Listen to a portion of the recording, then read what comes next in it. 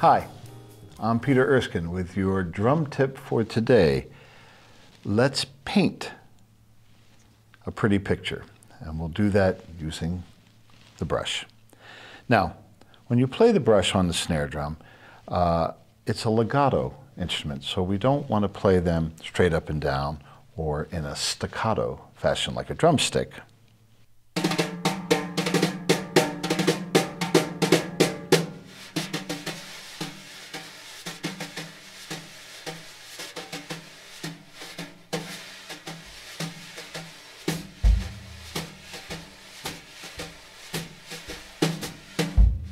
Now, drummers have all sorts of different ways of playing the brushes. Uh, a lot of drummers play with this kind of a motion, like you're gathering wheat.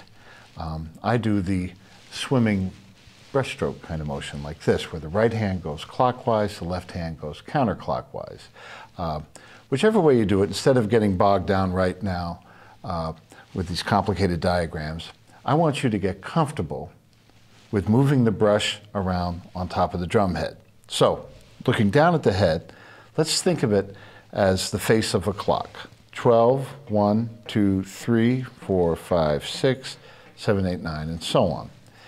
And I'm going to begin by bringing each brush down from the top of the drum, where 12 o'clock, down to 6 o'clock, or the bottom of the drum.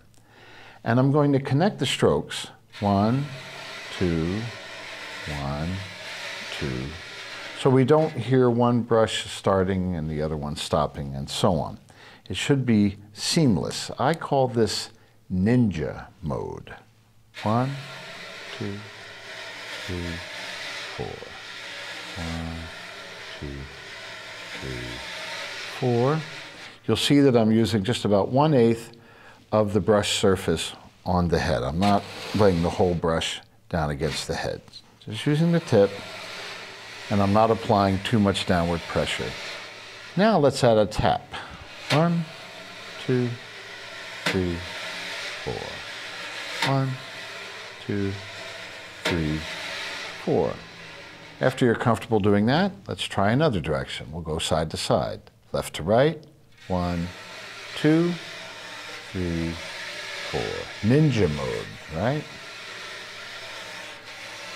Notice that the wrists are not articulating too much in the way of motion, and I'm using my forearms and my very relaxed shoulders. Just pulling the brush across the head. Tap, tap, tap, tap. Diagonal.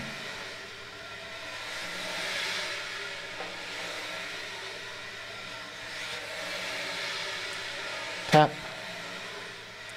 tap, tap, tap. Now I'll do diagonal going the other direction.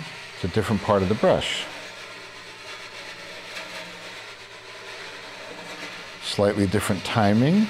Tap, tap, tap.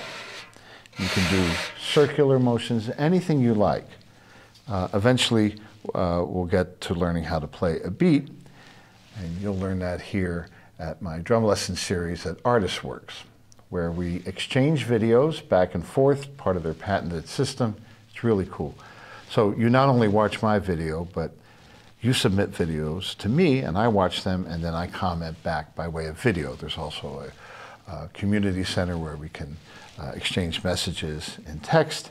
And so with all of that, a pair of brushes and a snare drum and a drum set, you've got instant music making. All you need to do is add water.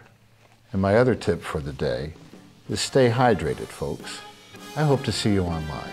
Thanks.